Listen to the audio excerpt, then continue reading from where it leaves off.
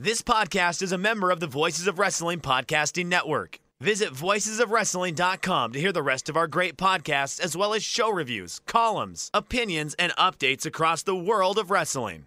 And I say, hey, what a wonderful kind of day. If you could learn to work and play and get along with each other. You got to listen to your heart. Welcome everybody to Wednesday War Games, episode 7. I did a nice intro, but then Liam interrupted me out of petty spite and malice.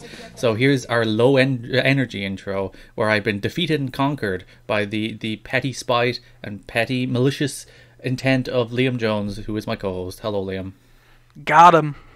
He just, I was like, oh, hey everybody, welcome to our podcast. And Liam's like, it's real warm today. I'm like, Liam, that I'm doing the start of the podcast. And then he tried to derail it, and I was like, no, we're actually going. This is actually the start. But then he stopped recording, so he he double he double spited me, and this is what I have to deal with, everybody. This I I was like, hey Liam, you're my friend. Do you want to do an AEW podcast? And he's like, And I said no.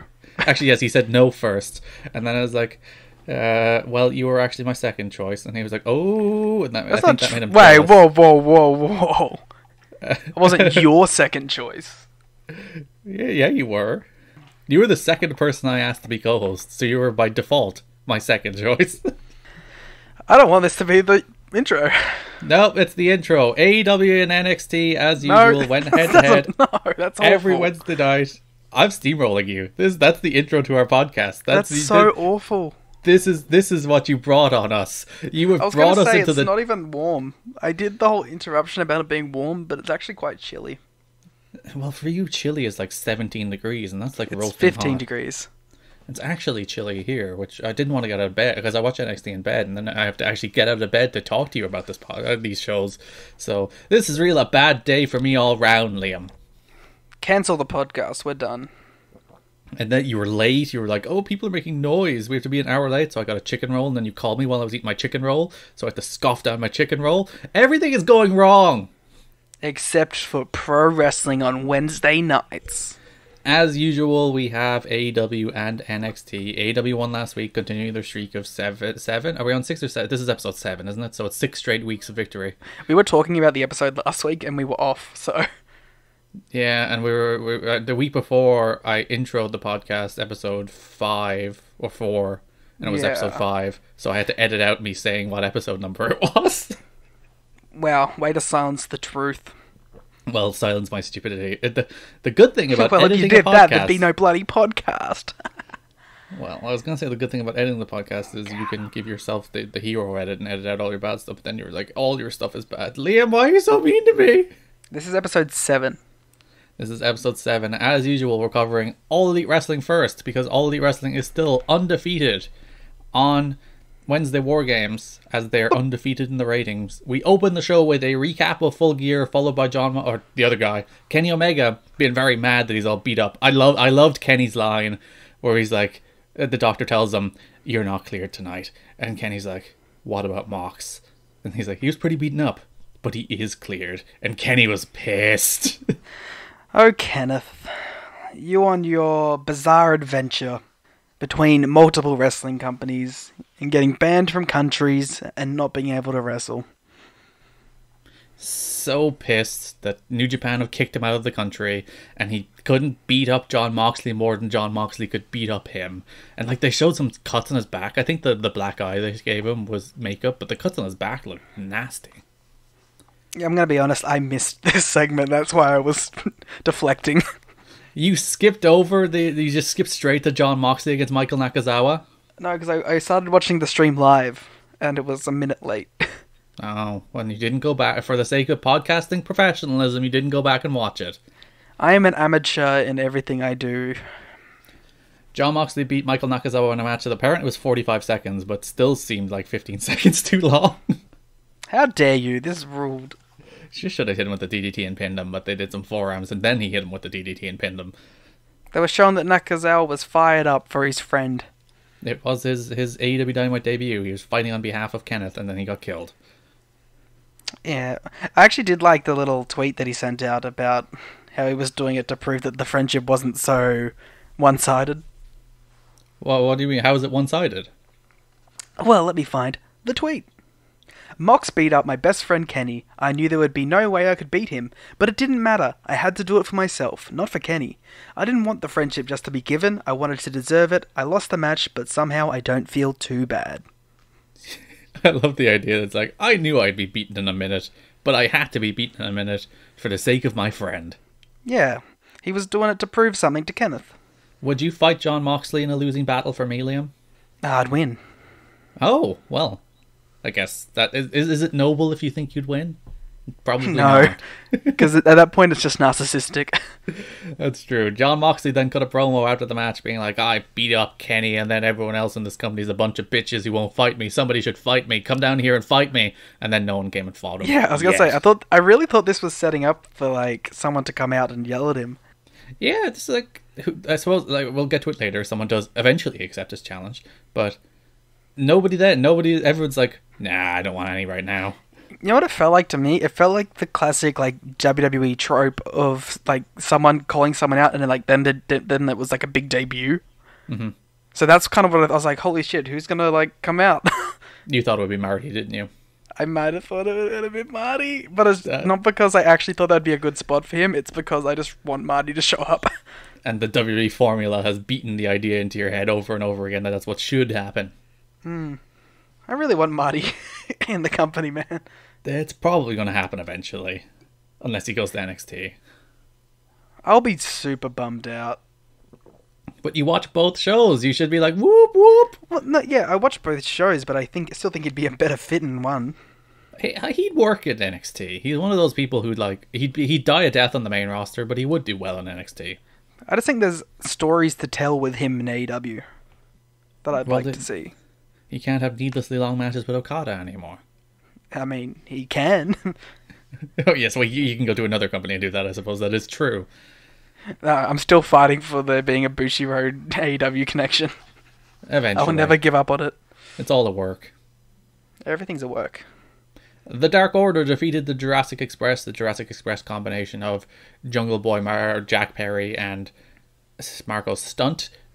In a perfectly fine match. The Dark Order, at Dark least Order has done to work. yeah, they're at least finally starting to like it. Like th- they told you they're a cult the whole time, but like they, they've never done anything remotely cult related. They've just been mean-looking guys who beat people up and have mediocre matches. And at least after this match, they finally had Evil Uno get on the mic and be like, "Hello, Marco Stunt. Would you like to be one of my minions?" And Marco Stunt was like, "Hmm." He was like, hmm, and then he should have flossed. "That would have been the most revolting thing I would have ever seen in my life." So I'm guessing you're anti-floss in wrestling. There was that phase when everyone was flossing. I'm anti any trendy dance in wrestling. It's just like, no, don't do it. I think you're anti-dance. I am anti-dance unless it's like like interpretive dance. That's art. I'm just thinking of the one time I was in class and I did interpretive dance as like a comeback to a teacher. What was the the question? okay, if I remember correctly, Mhm. I was being dismissed from the class forcibly. Why? What did you do? Were you a troublesome student, Liam? I I might have been a troublesome student growing up, and um, I was being ejected from the classroom. And I was I said something about like they were yelling at me for jumping around, and I just said something. It's interpretive dance, and I kept going. And like, and they just got progressively angry at me as I was dancing in front of the classroom. As someone who spent six months teaching students, I hate you. You're the problem with the world, Liam. As someone who was pro, I was, I wasn't really. There was only one teacher with whom I had like real problems with, but I insist she started it. So, other than that, I was a perfectly pleasant student. So I cannot relate. I I came from like a school that was like religious, hmm. and like, and we all kind of had a every like five or so years there would be a year level that was just the troublesome year level, mm-hmm. and that was my year level. So you're saying you were the Ricky Gervais of this religious school? well, no, because it wasn't like atheist stuff. It was just boredom towards and maybe a rebellious. Maybe I was the original heavy metal rebel. So that's why you relate with the Dark Order, is what you're saying. Yeah, that's why I want to floss with the Dark Order, I believe is what I was trying to get around to. You would have accepted the mask from Evil Uno. Oh, for sure. But I want his mask. His mask is way cooler than the minions. Or the creepers, whatever they call them. The- What they're minions. I don't care. I don't care. Well, they, the they call the creepers. Fine. uh, after the after Marco Stunt declined, they beat them up. The match was it was a, a decent match. It was a pretty fun match, I will admit. I, I was I was like one of those things I was just sitting there, I was like, you know, this isn't gonna make like an end of the year list or anything, but like this is just fun. Jungle Boy's great. Yeah. And the now newly dubbed Grayson, no Stu, he's just so much fun to watch too. He does stuff that you think you're gonna die, bro. And JR had a rare good line. It's like Grayson's getting over the loss of his first name. That's great. Um, JR likes Grayson. Like, Because he's like super impressive and athletic. You, you can't like, but like, like so him. are a lot of people on this roster, and he doesn't like them. Apparently, Grayson goes for pinfalls enough for him to get over it. I was just he he puts over every time I watch a Dark Order match. I just note how much Jim Ross likes Grayson. What do It's you think weird. of the choice to drop the stew? I, I, indif- I think Stu Grayson is a weird name for a stable called the Dark Order. It's like Evil Uno and Stu Grayson. It's like that's not a very malicious sounding. But he, like neither is Grayson really. But eh, Evil Uno and Grayson, I, I have no real take on it. but Grayson is for the good superheroes. It's a Sure, Nightwing reference, Garrett. I, I I watch Titans. I know. Can we turn this into a Titans review podcast? Have you watched any of season two? I have not watched season two. Season one put a bad taste in my mouth by the end of it. Why? I didn't like the last episode where they did like the alternate reality deal. That's well, that's a trope that they do in every comic book show. It's like all right. Yeah, but like, don't do it for your big like finale episode when I'm trying That's, to get answers to things that, That, are happening. that's that's an episode of the week. That's not a finale. Yeah, like that's what bummed me out about it. But I've I've still heard that season two was about the same level as season one. So I've seen the first episode of season two. oh, I was gonna I was gonna say spoilers. All right. But um, did you care? Do the people care? Do you care about Titan season two spoilers? Well, I don't remember. I watched it like two weeks ago, so I don't remember what happened in the first episode of Titan season two. But Uh, oh, oh, s- spoilers for Titan season two. Um, when Dick Grayson does take on the Nightwing mantle, mantle, mantle, Mantle. mantle. When he takes on the Nightwing mantle, um, I will be very excited because um, Nightwing is my favorite superhero, and he's very rarely represented in live action cinema. He's represented the most important live action cinema of all, Liam. WWE Monday Night Raw. Is he? The Ricochet Nightwing gear. oh, Sh- sure. That's the most important representation of of Nightwing that you could possibly need. It's all you need. What about AW Wednesday Night Dynamite? After the match, they beat up the Jurassic Express, and Luchasaurus made a return, hitting his weird. Luchasaurus is weird. He's such like a weird thing to be the coolest. He's like awkward and gangly, and like some of his stuff kind of looks like shit, but some of it looks amazing. His tail whip was kind of messy on this one. And like so, with some of the creepers running at him on the ramp, eh, not great. I like Luchasaurus, man. There's like a whimsy and a charm to his not greatness, and like he does like his step up dives and the standing moonsaults are objectively great. As Jungle Boy says in his episode of Wrestlers Eating Room Service, everyone liked dinosaurs once, and if they didn't, they're an asshole. That's true. Dinosaurs are object. Dinosaurs are like a universal light thing, mostly because we killed them all off and they can't hurt us. Yeah. Are dinosaurs your favorite animals because they won't revolt? Yes, they won't revolt because they're all dead. They lost to the meteor and then the ice age. They lost to the media. Yeah. Listen, there's been extinction events before, and we're still here. So suck it, dinosaurs. what extinction events have we avoided? I don't know. There has been there's been a couple of extinction events in, in the history of mankind, where like 95% of the Earth's population has been wiped out. This is now a history podcast. Yeah, there's like there was like one in Russia. I can't remember what it was. There's where like an entire forest was eradicated by a a, a meteor, and that created a worldwide extinction event due to the impact. But we just like making said, fuck up. it. Yeah. Don't care. We're cool about it. Most importantly, we have the Jungle Boy Luchasaurus theme back together, so that makes me happy. Poor Marco. Mar- like Marco's fine as like the guy who takes bumps for people they're wrestling. Like if, if you're like, do you want to see Marco as a re- regular wrestler on the show? I'd probably say no. Do I have any objection to Marco's role on this show? I would also say no. I'd be curious to see how he does to a non-hardcore crazy person audience like us. I think like Marco gets hipster backlash because he he got over as a meme, and then all memes eventually get tiresome, and everyone turns on the meme eventually. And like the cool kids have turned on the meme, but like Marco's like he's charming and likable. Leave him alone. He seems like a swell guy. Darby Allin versus Shawn Spears versus Peter Avalon, which is sure a match to put on television. Like, I don't, I'm not sure if I'm a fan of just these random triple threat, random fatal four way things that they do. Give me a reason for this. Shawn Spears made his entrance, and I was like, oh no, it's a Shawn Spears match. And then Peter Avalon made his entrance, and then it's like, oh no, Shawn Spears against Peter Avalon. And then I was like, oh, maybe they're a team. Then Darby Allin made his entrance, and I thought, oh, the match is Shawn Spears and Peter Avalon against Darby Allin and Joey Janela. But like, nope, it's a triple threat. But then Joey comes out anyway to run out Shawn Spears, and Darby Allin gets.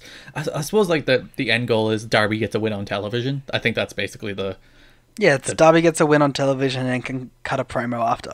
yeah. And then you can advance uh, Janela in there too. But yeah, what a weird match. Allin against Spears against the librarian.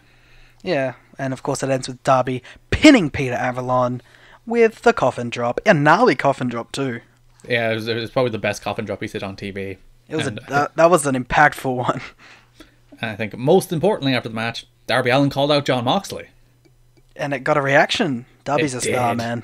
Dar- like Dar- Darby's over. Darby's and rightfully so because Darby is great. And after the John Moxley obviously made the open challenge at the start of the show and later in the show, Darby Allin's like, "Yeah, I'll take you on." And that match is next week. So, yay! As much as I think the match may be better if it was some sort of no holds barred uh, plunder match, I would prefer if it's just a straight up match because I want to see how they go in that uh, environment. Yeah, and I don't want Mox to be pigeonholed as the hardcore guy. As much as he can do that, I don't want to see him do that every single damn week. I also I don't need to have that kind of like this is a different topic entirely, but I don't need to have that kind of match on every single AEW big show. I feel They've they've had a lot of them, haven't they? Like it's, uh, uh, it's very TNA in that like we have the Abyss match where he just falls through thumbtacks, and that's AEW has kind of done an equivalent of that on the majority of their shows. yeah, I would prefer the that was weird. Prefer the big New Japan style epic main events. Like that, like I want Kennedy to do that more so than I want him to do random Attitude Era plunder turned up to eleven. Which I'd imagine, I don't think he'll be doing that unless he's so obsessed with Moxley that he can't get away from it. I just, I mean, like in general, not necessarily Kenneth. He was just an easy um, example. Nyla Rose defeated someone named Danny Jordan, squashed her. Nothing much to I had it. that. I had that later on my list. You, you forgot it happened. No, I just I had it later down on my notes. Well, what did you have happening between now and then? Uh, a, a, a promo that we're probably going to talk about next. Yeah, uh, Dustin Rhodes is injured, out for a while. There's, I think they said like four weeks. But he will be on commentary for AW Dark. Nice. And next week we have a 12 man battle royal for a diamond ring. It's it's a, it's a battle it's a WCW thing. They did Battle Bowl. But like why? Is this a mid card title? the ring? Is the ring a mid card title? I I I'd imagine not. Cody likes to do that. He made the Ring of Honor title a ring, He did he does love his rings. and I want like I thought they were going to be like, and the winner gets a ring and the number one contendership or something, but Or even if it's like a ring and $100,000. But no, it's they get a ring. a diamond ring. It is a diamond ring. It's probably of some what if value. it's what if it's like something that's going to end in like a proposal? Who's well, who's who's not Kip? Sabian, Kip Sabian wins it and proposes to Penelope Ford after. And then Joey Janela gets pissed. did, did you see that Joey Janela tweet about that? No. Um, uh, someone asked him on Twitter, uh, "Are you going to feud with Kip Sabian and Penelope Ford?" And he said, "I'd rather go back to delivering pizzas." At least Kip Sabian. Oh yeah, we never mentioned Full Gear. Full Gear was on Saturday. Yeah, I was thinking since we didn't mention it, maybe we could like do a little cut and we'll do like a, a separate full gear thing, even if it's just like a fifteen minute thing. Do you want to talk about it at the very end? Yeah, well, we'll talk about it at the end. Just a quick little rundown of full gear. So if you want full gear takes, it'll be at the very end, even after NXT.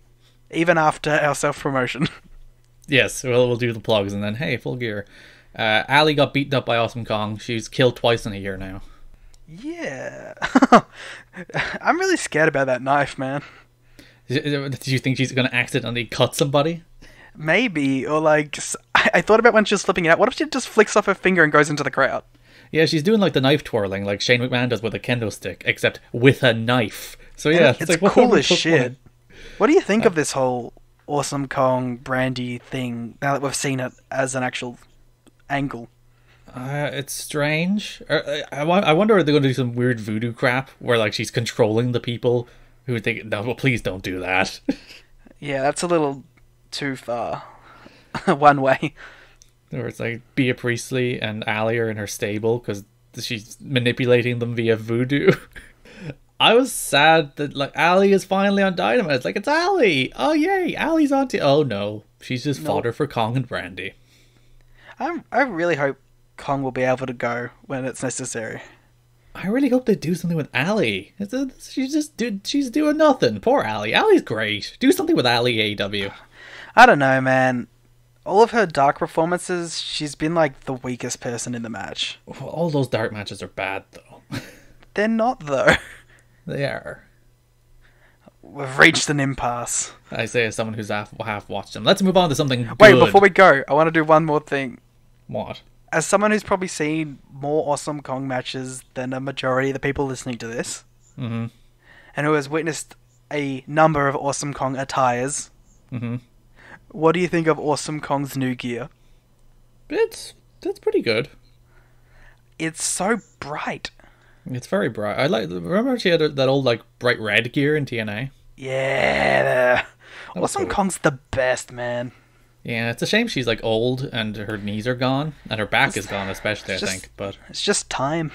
Mm. time will come for us all. But I hope Awesome Kong will be able to deliver when it's necessary, because I think a, like a match with her bullying Riho would be really cool. yeah, at the very least, I want a cool match of her beating the crap out of Riho and Riho making their big Gail Kim comebacks. Yeah, if we can get that, this whole run will not be for naught. And then of course we'll transition into Brandi Rhodes against Riho, which is the more important match. Yay.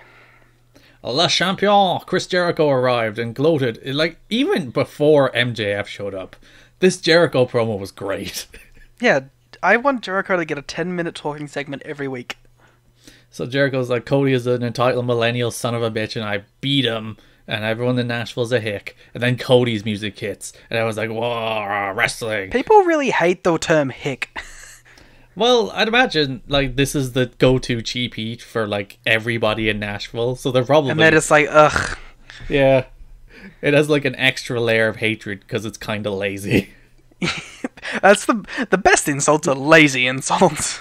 Yes, there's a, there's a meta layer of hatred underneath it because that's the go-to. Everybody mocks Nashville by calling them hicks. Makes sense. So Cody's music hits, everyone goes nuts. The the big chandelier rises. It's MJF. That And was so good, man.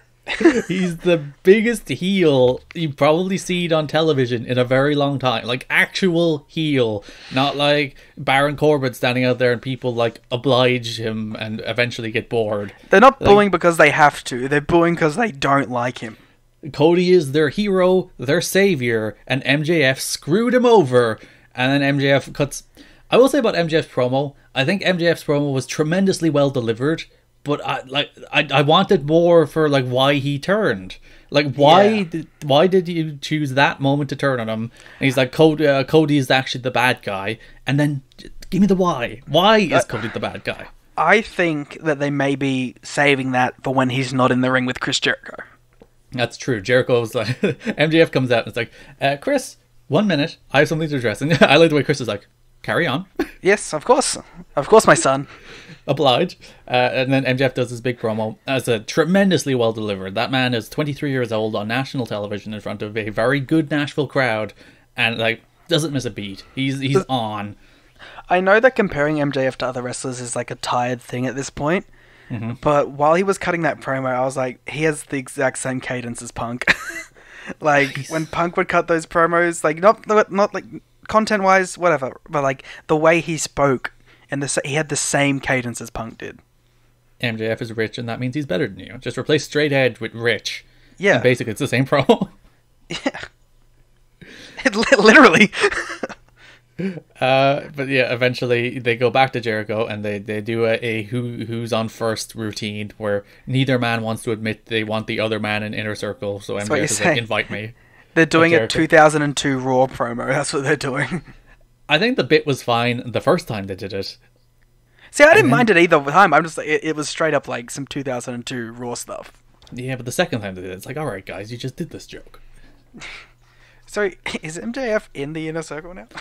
Uh, well, uh, to, to, to Cody comes out, everyone's like, oh my god, oh my god, Cody's here. They bought a power slam, which again, uh, it's funny the people JR chooses to protect. It's like the, the EVP botches a power slam and JR pops up. It's like, oh, it's the injuries from Saturday. If someone else did it, it's like, oh, that, that, that JR grumble.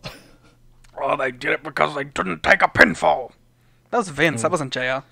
You'll get onto JR more in the Hangman Page match. But, um, yeah, Cody comes out, uh, MJF beats him up and chokes him with his tie after Wardlow appears. Yeah, Wardlow uh, with a Burberry tie. Yes, he's very fancily dressed because he is the the the, the, the thug of MJF. But yeah, they, they never officially said that he is in the inner circle. I don't think he should be in the inner circle, especially because you'd have to add Wardlow too, and that's seven people in the inner circle instead of five. And that's far think- too many. They are inner circle adjacent, but not members. And I think they will do this bit where like they, they flirt with each other again.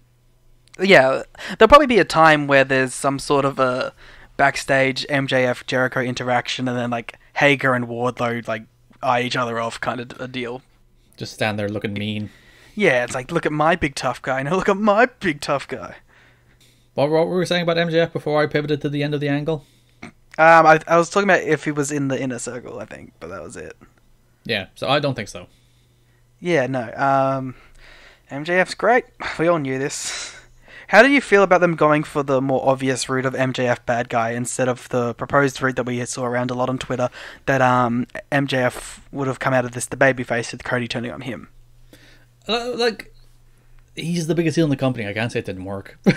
And it's like even if they tried that, it, I, like from what we saw at Full Gear with MJF, like he was in a sympathetic role there. Him throwing in the towel wasn't necessarily a heel thing, but that crowd wasn't going to let it be a, a babyface thing. Yeah, I think it was. If that was the finish they were going for for that match, I think the turn was the smart move because Cody would have looked like an idiot otherwise. Yeah. I, I need an explanation of why, like, was it just like MJF was like, oh, well, he can't win the big one, fuck him, he's not worth it? Or was it like, we need some answers, MJF. We need to sit down with JR. That's what I wanted from this. seg- That's the that's my my biggest flaw in the segment. In that, as good as MJF's promo was, he actually kind of just said nothing. Yeah, like, I think we uh, wait for some sort of a sit down. I want explanation of turns, You'll get it, I think. or I'll just ignore it. Oh, the, the Chris Jericho Juvi line in this problem was great as well. and probably true. Probably true. He was conceived during a Chris Jericho Juvi Guerrera match on Saturday night. I don't think they ever wrestled on Saturday night. I think it's a lie. Oh no. They wrestled plenty of times, but I don't think it was on WCW Saturday night. We can find out by going to the Voices of Wrestling Twitter at Voices Wrestling. Nice. The Bastard Pac defeated Hangman Page in a really damn good match. Probably a, a, a reasonable step better than their pay per view match. I liked it more than the pay per view match, and I liked the pay per view match a lot. Um, I just thought it played so well off of like going for the same spots and like teasing them, and yeah, it was all around just great stuff. Because yeah, they, they teased the low blow again, and Page blocked it again. But this time Hangman, or this time Pac got the better of it, and Pac went for the the brainbuster on the chair on the floor, but Hangman Which is a great spot. That looked that looked killer at Full Gear. Yeah, and he reversed into a, a very good looking brainbuster of his own on the floor. Our finish was Pac kicked him in the head a bunch, and they kicked him in the head some more before hitting him with a black arrow and brutalizer for the win. Which I'm glad Pac won this uh, rubber match. Where do you think Pac goes, Kenny? Well, I, I think Kenny's still got to do something with Mox. I don't think that's done yet. Hmm. I like. I don't think it'll run its whole way to the next um, next big show. But I don't think that's the end of Mox and Kenny. Because like I, I think the decision to put Pac over Hangman, uh, pa- uh, Page has been I think successfully rehabbed since All Out. Page is back to I think where he was before then. But like you don't put Pac over Hangman Page again here unless you plan to pivot to Pac versus somebody, Jericho? He doesn't really have a, a top tier challenger. and that's heel versus heel. Was that would that work? You could maybe turn Pac, Shades of Grey. But like realistically, in a match between Pac and Jericho, Jericho's probably going to be the one that's going to be cheered there, not Pac. Yeah. All right, let's. Again, it's like we say this often. It's like this company hasn't burned us enough to not give them the benefit of the doubt. So let's Oh, yeah, but see it's- how it it's not plays a- out. It's not a bad. I'm just interested to see where does it go. Like they're, they're setting him up for something. The question is what. Hmm. I would have put Pac over here though, mainly because to me, Pac is the lowest ranking main eventer, and Hangman is the highest ranking upper mid carder, and I don't know if I'm ready to swap those two. Indeed, we had the Bucks brawling with uh, Proud and Powerful. This is great. called Proud and Powerful enough that I will finally concede Proud and Powerful is officially their name. P and P. They brawled backstage. They uh, they brawled into a bathroom in which Orange Cassidy was just standing in. This segment was brawls, dives, power bombs, and lies. Yeah, oh, the live it was hilarious. It's uh, Brandon Cutler is like back off, back off, and they back off, and then Ortiz is like, "We lie," and they On continue the, an- attacking. on the anniversary of Eddie Guerrero's death, That's amazing. It's um, and it's a subtle like a subtle reference. You know what I mean? Yeah, it's it's not like like, like I was going to mention this during NXT, but like Mauro was like Hector, or was it Beth? I think it might have been Beth. It was like Hector Garza is like Eddie Guerrero. It's like stop. Yeah, it was Beth. Talk, yeah, talking about Angel Garza. Oh yeah, Angel Garza. Yeah, it's like he's like Eddie Guerrero. It's like no, just just nobody is invoked more in the history of pro wrestling than NXT invokes Eddie Guerrero. Just stop it. It, it's, it's definitely because like the only matches they watch down there are Eddie matches, right? It's clearly uh, the only matches they watch in freaking tape study are are Eddie Lie cheat and steal matches, and Yeah. that's that's that's where their inspiration comes from. I feel like let's get back to the uh, the PMP Young Bucks stuff because like I think it's hard to talk about because like what are we gonna do? Just rattle off the spots that happened? But Yeah. like okay, let's do that then. They, they, they had a wild brawl, slammed through a table. Nick Jackson jumped off something again. Um, oh no, it was, Santana uh, jumped off uh, something. Santana, or yeah, they're they're taking turns jumping off of things. Um, they broke Nick's leg a bunch. Yeah, Orange Cassidy's in the bathroom, which was a good spot. Great reaction. But uh, yeah, they, they brawled through the commercial, came back the other side of the commercial, then they were out in front of the stage. They attacked Nick Jackson's leg with a slapjack and then power bombed Matt through at the, the stage. And yeah, Proud and Powerful getting their heat back after winning. So, As a as a FITE TV viewer, I appreciate them giving us like some extended content by letting us watch the entire brawl. oh yeah, you got to see how they got from the backstage to the ringside area. And you could hear someone yelling at Nick, "We're still at break. We're still at break." and of course, this segment TV. ends with um Private Party coming out and confronting Pride and Powerful. Uh, Proud and Powerful. I Oh, fuck that up every week. And they confront them, and that match is made for next week. Along with uh, Jon Moxley against Darby Allin. Those are two very good television matches, Liam. And we also get to find out who wins the Dynamite Diamond Ring. Sure, that too. SCU retained the World Tag Team titles against Chris Jericho and the Spanish God Sammy Guevara in again another perfectly fine but not particularly memorable Chris Jericho television main event. Yep, that's exactly what we expect. They, they had even another perfectly fine but not particularly memorable SCU title or tag team match, but It was it's a pretty good match, and it's cool seeing Kazarian and Jericho in the ring together.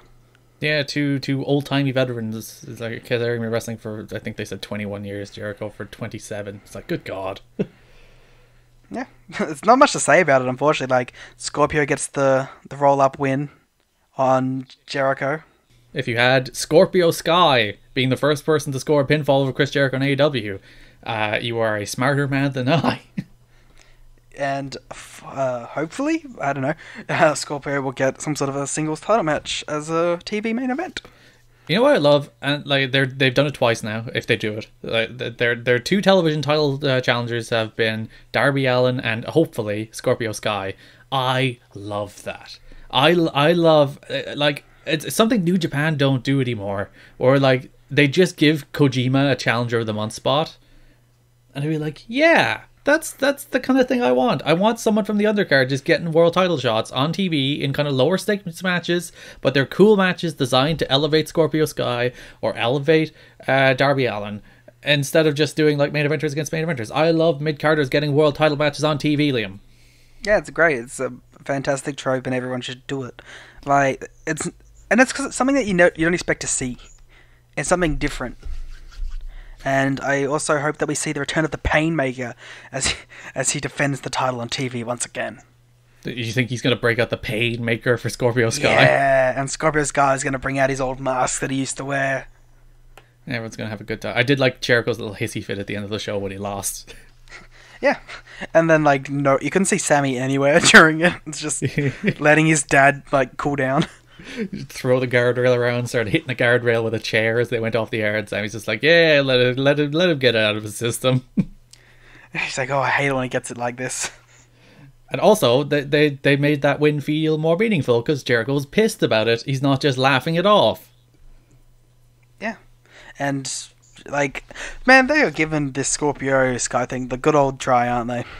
Well, it, like the the first week it really worked, and if you're like, hey, Garrett, uh, do you think Scorpio Sky will be a single star at AEW? My answer, I'd, I'd probably say no. I don't, I like, I don't think this will propel Scorpio Sky to new and greater heights. But why not try? Yeah, why not try with anyone? Like, give everyone a shot at it. Like, you never know who will be the one to connect. I didn't like the show live, and I like it more now. I still don't think the first hour was great, but the second hour I- was probably real good. This was the first time in AEW Dynamite history that when we I reached the second hour, I was like, huh, that first hour was kind of meh. Yeah, because it was like there was the Nyla squash, which was man, the Jungle Boy tag, which was pretty good, and the Moxley squash, which was a squash, and Yeah. uh, the the Darby Allin match was three minutes. It was like just too many bitty segments for my taste. The most forgettable first half of a Dynamite for sure. Even if the it did do a very good job of returning Luchasaurus, well, he got a good reaction, and Jon Moxley against uh, setting up Jon Moxley against Darby Allin. so it has that going for it. But the second hour was, now that I look back on it, that second hour with the Jericho and MJF promo, and with the Hangman Page and Pac uh, brawl, and with the uh, match and with the LAX proud and powerful brawl, and then the pretty good main event, but notable main event. Very good second hour. Yeah. Basically, give us that second hour all the time. Hmm. which takes us over to WWE NXT, which opened with Lio Rush against Angel Garza for the WWE or NXT, sorry, Cruiserweight Championship in a very good match. That, that God, I hate the NXT crowd. I was gonna save all that for later. We're just we're getting straight into the NXT. crowd. The way they react to things just never feels authentic. They're like whoa, whoa, whoa, whoa, whoa. They're, they're like they're almost leading the action, and it annoys me. It's like just cool your jets for twenty five seconds, crowd, and respond to things organically. I'm gonna disagree a little bit in that I prefer the NXT crowd when it's like this for like this kind of mm-hmm. match than when it's like Roderick Strong, Keith Lee, where they're just kind of sitting on their hands but still going whoa. But you see, the reason they're sitting on their hands is that because they like tire themselves out after two matches by like fake. It's phony. It feels phony, like, and you can tell it's phony because they get tired of doing it by the end of the show. Yeah, uh, you're not wrong, but like I wish they could keep up the phoniness if they're gonna do it. Yeah, it may take. Yeah, work on your stamina and NXT crowd. If you're gonna be phony, at least be phony for two hours. yeah, because like this match ruled, and that crowd, I like they were working for me in the crowd, like for this mm. match. For a match that I didn't care much about, that one eventually won me over in a big way. Like I was fine with the crowd in this match. I prefer them t- like this than I prefer them basically for any other segment on the night. Yeah, this was a real good match. Lio Rush retained the title against Angel Garza, and probably Angel Garza's best match I've ever seen him in. Yeah, exactly. I, I, I haven't seen anything better.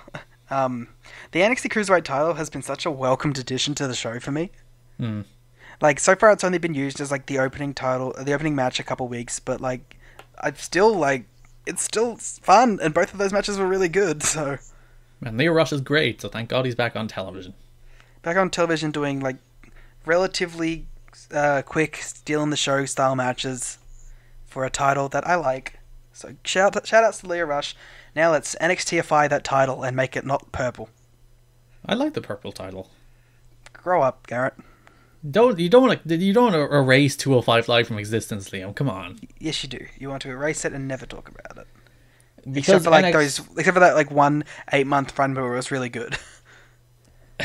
with Big Bud and said Yeah, d- cool matches. yeah, just post Mustafa Ali, post Mustafa Ali 205. We just ignore. Cool, cool. Well, it's Buddy Murphy. Mustafa Ali left before Buddy Murphy. Okay, fine. I'll give Buddy credit too. He was delivering some pretty banger matches. Your big match buddy Australian hero, probably the best. Is he the best Australian wrestler in the world? Today, it's either him or Robbie Eagles, Hmm. or Will Ospreay. Who is spiritually Australia? This Will Ospreay is spiritually from everywhere. I, I had a weird, awkward side hug with Will Ospreay. He's one of us. Oh well, th- there you go. You've embraced him. Yes. You've never given me a weird awkward side hug, Liam. You've never wrestled in MCW, have you? Not yet. Oh, coming soon. Tegan Nox and Rhea Ripley were attacked backstage because NXT love their backstage attacks, don't they? I didn't see this segment. what do you mean you didn't see this segment? On the totally legitimate TV stream that I watched this through, uh, didn't show it. Okay. so I missed this segment. They were jumped backstage, it's fine. It, it cut it cut to Mauro talking about how they had been jumped, and I was like, huh? Uh, Xia Li defeated Aliyah after she kicked her right in yeah, the damn face. Yeah, yeah, yeah, yeah, yeah, yeah. Oh, do we have flags? But no, before before that, we got a recap of Shayna on Raw and SmackDown. Oh, I that I skipped because who cares? I don't want to watch Raw and SmackDown. Well, you don't have to because they have a recap of Raw. And I don't even want to watch the recap of Raw and SmackDown, Liam. That's that's how I'm like, ugh. Will you be watching Survivor Series? I'll see if anything's good. I feel like I'm gonna watch any match that has an NXT superstar because I'm committed to the podcast and I'm committed to the bit. You're so professional you didn't watch the segment we just talked about. Or the opening segment of AEW. For reasons. but you'll watch you'll watch Survivor Series. I'll watch Roderick Strong versus AJ Styles versus Shinsuke Nakamura. That match would have been great five years ago, wouldn't it? Five years ago, it would have been like the three best wrestlers in the world. Yeah. Oh well. Xia kicked a lie in the face and beat her. She like broke her nose. Is Vanessa Borne a manager or a wrestler? Couldn't tell you. Like, has she wrestled in I the time so, that we've been watching this show? I don't think she's wrestled on this show, but I, I believe she has wrestled on NXT. Yeah, but that was before the USA era. So maybe is she out positioned out of that role now? She just stands next to Aliyah as Aliyah has her face broken by kicks. Yeah. Poor girl. She really kicked her in the damn face. But do you think that was meant to be the finish? Um, no, it seemed weird, right? Yeah, it's, it seemed pretty sudden. Like he kicked her in the face. Her face was very much broken, and then she It seemed her. like that was a shoot pin. yeah.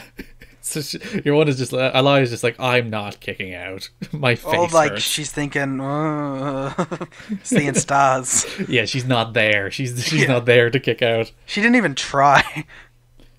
Thanks to legendary rapper Nas, I can use the reference that Xia Li has more than a baby has. What I can't even. More than hmm. a baby. I can't even. I got the quote wrong. It's dumb. Oh, Sick. sorry, it has more kicks. Thanks to the legendary rapper Nas, Jaya, I can use the reference that Xia Li has more kicks than a baby in a mother's stomach. I like that he references that he's referencing a reference. There was a point in the show where he's like, he referenced, I think, Yokozuna. I think Bronson Lee Yes. did a Yokozuna move, and he's like, maybe one day Bronson Lee could do something, and then I can reference it. And in my head, I'm like, the pinnacle for Mauro is like somebody doing something that he can, like, that's the peak is him being able to reference something. Then you've made it if Mauro can reference you doing something. Yeah, he wants to be referenced. Uh, Finn Balor came out. I, I don't care about anything that Um, happened here. Before that, we got a Killian Dain Pete Dunne recap I don't care about the recaps, Liam. for a match that shouldn't happen. Well, it didn't, so. The note that I wrote when I saw this was, "Oh no, a Dain match." Well, it didn't happen, so you should be happy. Uh, wait till we get to the my note for when we get to that match. Finn Balor came out and he's mean to Johnny Gargano again for some reason, and then Matt this is Riddle weird. attacked him. Like, what is what is Finn Balor's character? He's Whiny angry. man. Like, why is he angry at Johnny Gargano? He's like, But there's such a, there's an easy story there, and they're not telling it. They're like, Yeah, it's like the boys in the back aren't tough enough. There's his character, and that's just weird, man. especially for Finn Balor. Why is that Finn Balor? Is Mr. Tough Guy Finn Balor? Why is Finn Balor doing a Silas Young character? He's like, oh, these boys don't have anything. When I was in NXT, they were men. It's like, what are you talking about? And we got um Riddle attacking Balor halfway through. That he's been taken out of War Games to wrestle Finn Balor, and Dijak has been taken has taken his place, but then they still don't have a fourth member. Velveteen Dream. Probably. Uh, do you think this was the plan all along? If this is the plan all along, that's Nope. doubly stupid. I don't. I don't necessarily. No, I don't think this was the plan all along.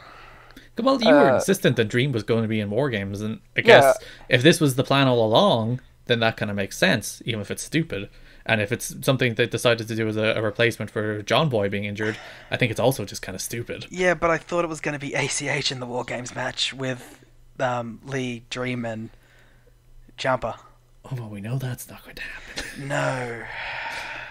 Undisputed Era came out, Tommaso Ciampa and Keith Lee came out, they had a little standoff, and that led into a very boring Keith Lee against Roderick Strong match. I was so excited for this. when they were setting it up, I was like, yes. I saw the lineup for NXT. It's like, oh, Roderick Strong and Keith Lee, that's a fun match. And then they just went forever and did nothing. it was. I was like, it was good moves, but it was so lifeless. Yeah, like they were just just, doing moves to a crowd that didn't really give a shit.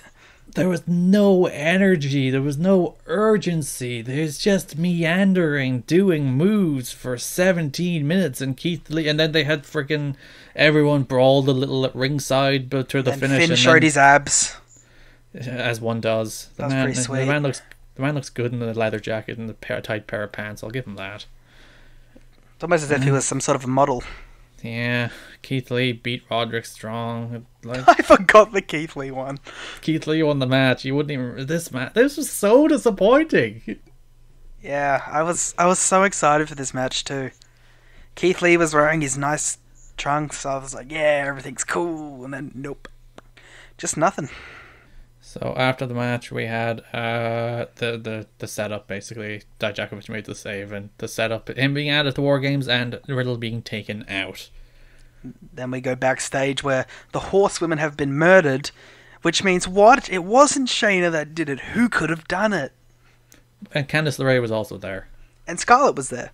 I blame Scarlett. I think she did the whole thing. So like, I I guess the idea here is we were meant to think it's Dakota Kai, right? I th- the idea here was at first we were meant to think it was Shayna because it was Right. the opposing team, and then we're thinking, oh, maybe Dakota Kai retaliated, but then we also saw Candice. So hmm. by then we click that it's someone from Raw or SmackDown. So like, was it Bayley? It was Bayley, yes. They never tied a button. I didn't put that. To, I was like, The implication was, that it was Bayley going around doing it, that's kind of stupid. which because I didn't want it to be Bayley, I wanted it to be Sasha and Bayley. Or like I thought it was Kay Lee Ray, but then I was like, oh wait, the Horseman. She had to. I thought uh, like, oh, Kay Lee Ray's attacking them, and the setup is that we're supposed to think it's Dakota Kai, but then it turns out it's Kay Lee Ray, and that's a twist. But like, No, she It's wasn't. just Bayley? Yeah, yeah, it was. It was just Bayley. it's just Bayley. that's a waste of our show running angle, isn't it? Yeah. Um, sure, okay. Uh, in a match of the jobbers to the stars, which one of them is more of a priority to job to someone else next week? Uh, Isaiah Swerve Scott. Actually, no. Do do we have uh, more quotes? Oh, we do for this match. Oh, we do for this match. Uh, Isaiah Swerve, Scott is clearly the bigger priority because he beat Bronson Reed in another just of again of the recent. Thanks, Bronson sprints. Reed, for your one match push. Yeah, again, and uh, Isaiah Scott will lose to somebody else next week and have his I one match. hate push. it. I hate it so much. They're just they're like the the people on the undercard just take turns winning and then losing to people who are more important. Just let someone win and go on a bit of a run. Seriously, it's not that hard. and Roderick Strong. I actually like this Isaiah match Scott too. in order to lose to Keith Lee. Yeah. I liked the match though. It was a bit long, but I liked it. I thought of the recent TV sprints, that was the worst. Um, what I wanted to say here, a little Of the recent interesting TV matches involving these two people, it was Yeah. the worst. Probably, yeah. I wanted to make a little note here that um, after all of these like matches that Reed has, um, Mm-hmm. he always shakes hands after, and like it's only him that does it, but he always shakes hands with the person that beat him. So like, is he just gonna like beat someone up, and that's gonna be a subtle setup? It's his eventual heel turn in two years when they eventually get around to pushing him will be that he will shake hands and then attack them. What am I saying here is, is Bronson Reed doing a subtle Dolph Ziggler gimmick? Sure. You don't get this reference? No, I don't. Remember Dolph Ziggler's first character was that he would go around shaking hands? oh yeah, and he was like, "Hey, I'm Dolph Ziggler." I forgot about that. Yeah. Wow. As strong as lighting up Lee's chest like John Wick, and the wick of this match is burning bright. I didn't even hear that one. I don't even get it. Like, what does John Wick have to do with lighting people's chests up, other than? No, Shooting it, does he shoot people in the chest a lot? Is John I Wick known for his famous knife edge chops? No, he's no. He probably double taps to the chest. Yeah. The flyest in the room, Isaiah Zore's God is so fly, he's a flight risk. Do you get the flyest in the room reference? Well, because I assume it's some kind of rap reference, because It that's Mauro. is a rap reference Please explain it to me, Liam. to Travis Scott's latest single, "Highest in the Room." Ah, that's the second time he's compla- uh, compared uh, Isaiah Scott to Travis Scott, isn't it? I assume it's because that might have been where he got the Scott name. That might make sense. yeah. Uh, that I don't mind the- flyest in the room for a nickname, by the way. Like as, on a show that has terrible nicknames, like the original Bro, flies in the room ain't bad. He doesn't do enough like proper flying for it. If he if he was more of a like pure high flyer, I would agree, but he's not. Mm. He's sort of a high flyer. But he's fly, like he's not flying. He's But like th- then, but like, but if he did flying things and he was cool, it would be like a cool double meaning. Yeah, but it's just a one, and also he's a flight risk. Maybe Sure. he's a flight risk because he's not great at flying and he may hurt himself. he might hurt himself. Yes. Maybe that's Mauro why just he's a flight accidentally risk. buried him. Killian Dain and Pete Dunne were going to have a match, but thank God. Before they- we get to that, oh, did we have a recap? the did first recap? edition of Flag Watch Oh, flag what? What do you mean first edition? Like we haven't? Oh, uh, first in this this show. week. first this week. Um, backstage We. Oh, sorry. As my phone goes off. Um, oh, at John J Duffy is now following at War Games Pod. Thank you, at John J Duffy. You followed us at the right time to get a podcast shout out. Boom. Um, backstage, we saw Pete Dunne doing some push-ups, where he s- we had a lovely uh, sort of a beige-coloured flag behind him, and I don't think this is a repeat flag. I think last time he had a flag, it was a British strong style flag. So now he has his own singles flag. Yes, and it was like kind of like an army man one. I'm gonna see is there an NXT PR email and email them. It's like, who's making these flags? And also, why aren't you selling them yet? That's true. there, there will be another flag later on. Killian Dain and Pete Dunne were going to have a match before uh, Killian Dain was attacked by Damian Priest. Killian Damian? Damian Priest. Damian Priest turned into the biggest babyface for me because he ensured that I didn't have to watch this match. What do you have against Pete Dunne against Killian Dain, I Liam? don't. Killian Dain's matches are just so boring to me. That's fair. It's like I didn't like the Riddle matches. I didn't really like anything else he's done. He was pretty good in the Sanity Tag stuff, but that's about it for me. Hmm. I just I I see that he's got a match on the card, and I just kind of get a little sad. Damian Priest is sort of NXT's Luchasaurus He kind of is, huh? without the whimsy. Yeah. You know what this is means, right? What? We're getting a War Games triple threat. Yeah. Oh, there's so many triple threats on all of these shows. it's God almost like it. they have a hundred thousand people employed. Like, They're gonna have two War Games matches, yeah, and they're gonna have a triple threat. and they're gonna have Matt Riddle against Finn Balor. like and they're probably gonna have another like an NXT Cruiserweight title match on that show as well. It's like they have so many people and they're trying to fit them all on these shows now. That's a lot of people. We're gonna, we're, I think, long and gone are the days of the five match takeovers soon. It is pretty wild that like that they have ten people, or no, it's four, it's four and four, so I guess sixteen people. Sixteen people taken up in the War Games matches, and they're still like, we have to cram a triple threat onto the show. Yeah, like as soon as I saw this happening, I was like, man, it just kind of dawned on me how many people NXT has employed. Oh, by the way, NXT's the, the, the War Games format is five minutes opening and then three minute intervals. Three minute intervals is too long. Cut it to two minutes. You're wrong. All right. Thanks. Showed them, Garrett. They will they will change their plans now. Well, they'll do the matches. The matches will be on the boring side because they did three minute intervals, and then I will be proven right. So that's all that really I really need. All right, Cody. When you do the eventual Inner Circle versus Elite War Games match, do it our way. Yeah, do do five minute uh, five minute opening can be long too, but I'll accept that. But two minute inter- ninety second inter- intervals even also good. Three minutes too long. What if they're worked intervals and they're not actually that long? What's the point of calling the three minute intervals then? Make you mad. Dakota Kai was backstage at Mia Yim and was like, "I'm gonna have your back," and she did. And while this is happening, there was a flag in the background. Oh, whose flag? Mia Yim. Uh, Mia Mia Yim, flag. Mia Yim had her flag. It's just her Titantron, Well, like just the spray painted Mia Yim. It's not the best flag we've seen. you're disappointed. The standard of the flags are dropping. No, I don't think on a consistent basis they're dropping. It's just Mia Yim. She must have been like last in line to the flag giving out section, and they're like, "Oh, sorry, we just have a screenshot from your Titantron." She's like, oh, she's probably jealous. She saw other people's flags. Like, hey guys, where's my flag? And it's like, uh, uh print. Print It's like, "Oh, you, oh, you weren't here for Flag Day? Flag Day at the PC? Flag Day at the PC! that sounds great. Oh, our main event, Io Shirai against Mia Yim in a ladder match. And like, what wasn't the greatest ladder match in the world? But Mia Yim died twice, so I can't you really not call respect it. it, yeah. I gotta respect her because she got hit in the face with a ladder and really destroyed her face. And then she continued to work the match, and then she fell off a ladder through another ladder and literally died. Like that's the, one of the worst bumps I've seen in a ladder match in a very long time. And worse in the sense that it looked devastating, not that it looked bad. Uh, in a ladder match that I've seen in a very, very long time. Very on par with the Nick Jackson tripping on the top rope and eating shit through tables bump. Though that I meant, there's also the AC Romero um, fall off a ladder through a table at now. So That one was really, just scary. there's actually been quite a few of these ladder bumps in the last three months. So I, I, I retract what I just said about Mia Lim Yim's being the worst. No. I'm sorry, Mia Yim. But still, it, it looked devastating and amazing, and it looked like she had died.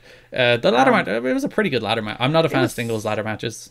It wasn't like a great ladder match in general, but Hmm. it was a great, a good WWE style ladder match because Yeah, it was like- kind of a bit more reckless than a normal WWE style ladder match. Plus, you got to remember they could, probably couldn't have gone as all out as they wanted to because they're doing a ladder match next week as well.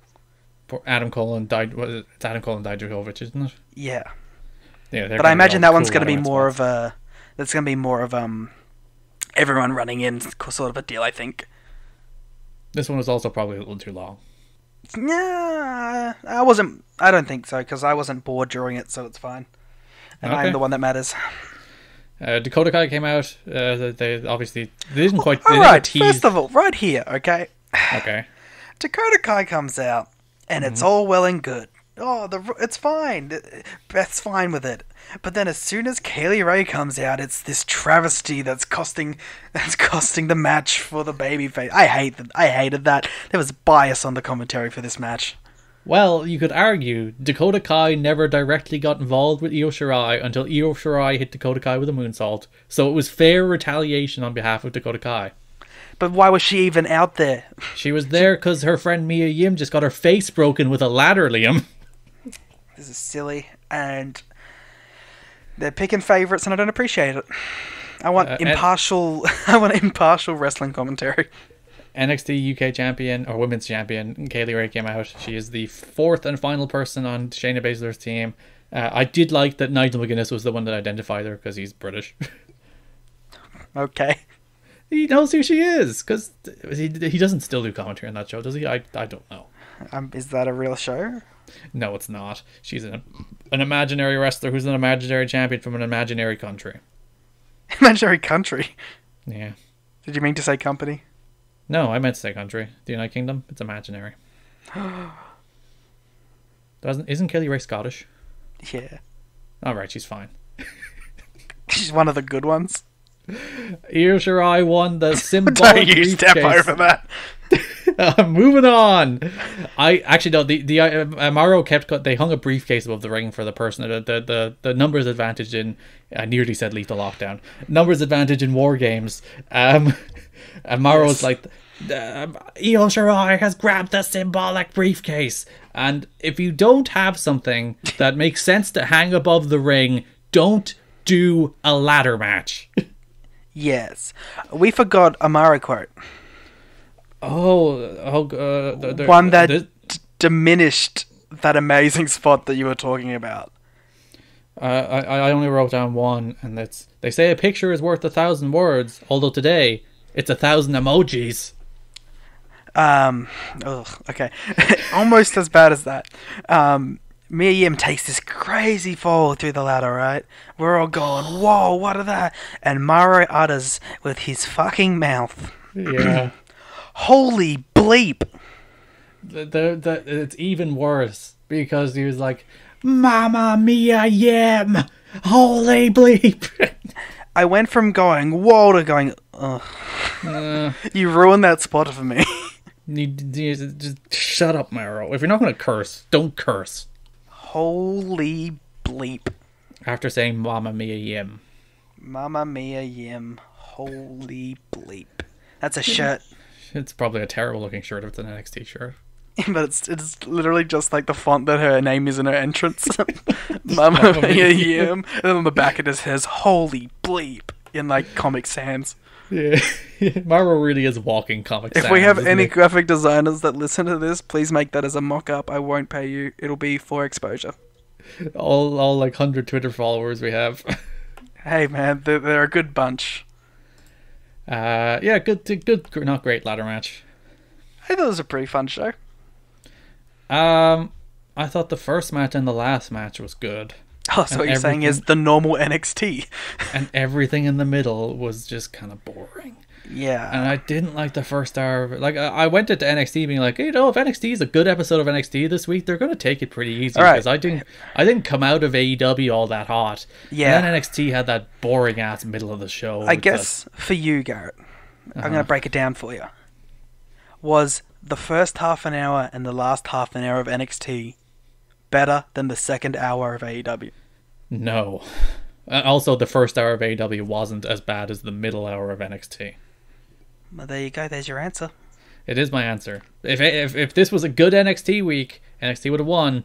NXT are timing their bad their good weeks badly. Yeah, like it's it's really what it is. Like it's not necessarily that either one blows each other out of the water. It's just they got a time when they want to have a great show. Yeah, it's like whenever AEW is not all that hot, NXT is just a little bit worse. yeah, but it's like, come on, you can do it. We believe in you, NXT. You're close. Like I, I legit went into the NXT thinking like, I think this show's gonna be better, and then it wasn't. What was your match of the day? Uh, first of all, a Twitter poll, 340 votes, Wait, I, thought, I thought we were going to do that bit. I thought we do that bit last. It does well, okay. Match of the day. It's between Lio Rush and Angel Garza and Pac and Hangman Page. I it's think I am leading Pac and Hangman Page. I think I'm going to give it to Leo and Angel Garza. Both are very good matches. Watch both matches. Both like it's funny. I was thinking as I was watching Lio and that, I was like, these are these are like basically the same match to me. like these are both the standout matches, and they're both quite similar to me. Just the go go go aspect of it. You know what I mean? For um, a sh- better show, AW. Hmm. It's such a throw up for me, honestly, because I think I liked the middle of NXT more than you. Yeah. Because I got to see someone get their head face kicked in. I got two flags this week. That's all you need. AEW You know had no flags. you know flags, what? AEW did have no flags, so I'm going to give it to NXT this week. Which means it goes to our fan vote. Which What, what was my shtick that I was doing the first week when I went to the fan vote? democracy or something. Democracy! uh, AEW defeated NXT 71% to 29% with 380 uh, 340 votes. I didn't know it was that much. It's like I fully accept people are voting like like on as I said to you they're voting on party lines they're voting on the show they like more but it's Don't interesting do that, guys, please. yes but we can't stop people it's a, and people jump on the hashtags but It's interesting. Every week, the first like thirty to sixty votes, NXT kills AEW. I don't know why this happens, but like the the the people that vote in this poll early go heavily NXT, and it's like 80-20 NXT. You know why I think that might be? uh, the hashtag for NXT is more popular. Well, all right, thanks. Was that what you were going to say? that was what I was gonna say. I was gonna say I think WWE fans are more likely to be patrolling through the WWE NXT hashtag than AEW fans are to go through the Dynamite hashtag. Mm, that's that's also my theory. So we're we're in sync there. I really thought I was gonna have something there, and you just, bam. I know you too well. All Elite Wrestling Full Gear. What you think of I, it? um, ah, we're gonna break it down, or we're just gonna do an overall thought. We'll do overall thoughts. Um, as an overall show, everything that I thought I was gonna like, I liked, Mm-hmm. and some things were kind of meh. I like the main event a lot. I have some, I, I had some thoughts on the Twitter that got some reactions. Because you asked me Um, to retweet them. Why are you gonna call me out like that? You're welcome for the numbers, pal. I, I, I did it because I know you. I wanted the discourse, and I thought Ah. your followers could offer the discourse because no one follows me. You thought, you thought people that follow me would be just mad online. That's And it- fair. To be fair, they weren't really mad, but I did have some nice discussion about it. Hmm. Uh, for people who don't know, I referenced the, the Gargano Ciampa feud with the match as both being examples of just spectacles and overindulgence in wrestling. But I thought that Omega and Mox was better because it wasn't telling me that it's some like high art storytelling while it was doing it. They're just dragging themselves through glass. Yeah, that's fine. Like, just do that. It's more fun. But yeah, as a whole show, it's not my favorite AEW show by any means. Like, of the big ones. I think every match on this show was a little worse than I thought it would be. Yeah, Like all of them, like across the board. I liked PNP's gear. It was cool. Yeah, that, are they baseball players? Is that what they're going for? Yeah, I think they were. I think it was a reference because weren't they in like where were they? Boston. And they Uh, were Baltimore. Baltimore. Before that, I got nothing. Uh, yeah, that match was probably the most disappointing match on the show, despite being pretty good. It was like it was flat good, and you, from LAX and the It's- Bucks, you'd expect it to be better. You know what it was? It was worked differently than I'd expected to be worked. I feel like the Young Bucks in their big tag team matches have taken too much to heart criticism of them. And they end up working these like Southern style tag matches instead of working like really good Young Bucks matches. Yeah, I wanted 2013 PWG here. And sometimes that works. Like the, the Young Bucks against Golden Lovers match was kind of like that, but it worked. And them and their uh, Roppongi 3K stuff was really good like that too. Yeah, but this is the second time in AEW. It was them against the Rhodes Brothers, and now here again, where they've worked matches like that, and they haven't been particularly great. Alright, to be fair, I'm going to play a bit of devil's advocate here. Okay, As far as criticism goes, right. those matches were mm, not as good as we'd expect, right? Yeah. But they got the same exact response for when they did the crazy PWG six mans with Laredo Kid and the Lucha Brothers, and for the Lucha Brothers tag match. So they've done both styles, and both have been kind of meh at this point. Maybe it's not necessarily the style of match. Maybe there's just some sort of Young Bucks fatigue. You think the Young Bucks are bad? Like the the ladder match with the few Lucha Bros was amazing, and like the TV match, which was very much a the the six man tag with Kenny against uh, the Hybrid Two and Kip Sabian was very much like that PWG style of just spot spot spot, and that match was also great. So like. And the Young Bucks against Private Party was very much a match like that, and that was also great. So like, just Some- do Young Bucks matches. Stop doing Southern tags. Maybe they should stick to that style, but like go shorter. Yeah, 21 minutes was too long. Just do a 13, especially in the opening match of a pay Like, this ma- debut opened with a 21 minute tag, followed by an 18 minute Hangman Page and Pac match. And then I'm like, and then Shawn Spears and Joey Janela was only 12 minutes, but felt like 65. to be fair, I'm a firm believer in the two most important matches are the first and last match. but, like, don't have the first match be 21 minutes. Oh, the, you, can have the first match be 21 minutes, but don't have the second match be 18. Yeah. Uh, The, the, the AW have pacing problems. Like, the, the, the, the worst offender was Fight for the Fallen. That show was dreadfully paced on every level. yeah. And th- this this also had the same pacing problems where every everything on this show felt too long. Except Riho Emi Sakura is probably the only exception. That felt maybe almost a smidge too short. I think if they tacked on another two minutes onto what they did, that match would have been even better. I thought that they had a very good match. They could have had a great match. But other than that, every match on the show was too long. Yeah, that's been like a pretty consistent uh, point for AW and their big shows at this. I don't want to say point again, but point. So overall, for a show, give me a grade. Give me a letter grade for the show. Uh, C plus B minus. Yeah, I was thinking B minus. Where does it rank? Uh, it's worse than All Out. It's worse than Double or Nothing. It's probably on. It's probably worse than uh, Fyter Fest. So I would have said it's better. Mm. Than, it's better than Fight for the Fallen. So I'm gonna say second worst. I'm gonna say third worst. I'm gonna Which say it's better than the, better than the two B shows, but the worst big show. So yeah, far. it's easily the worst of the big three. Yeah, and soon we'll be finding out what the next one is. I'm surprised they didn't announce it at Full Gear. I don't. Yeah. It, what do you think? What reference do you think it's gonna be? Uh, I don't know. Some d- d- d- it's gonna be a BTE story. It's gonna be a BTE story. It's gonna be full like Toy Story parody, but a pay per view. Very good. Isn't that what we all want in the long run? Or can people find you on the internet, Liam? Uh, find me wherever you want. Find me at L A R R I K N. Find me at my behind the voice acting site as Liam J. I'm on that. If you, Cool. want, if you want me for that. Um, Do you find list, me. do you list this podcast on that site? I don't. I should. Hey, It is a pretty good example of your voice. I do talk for a time on it.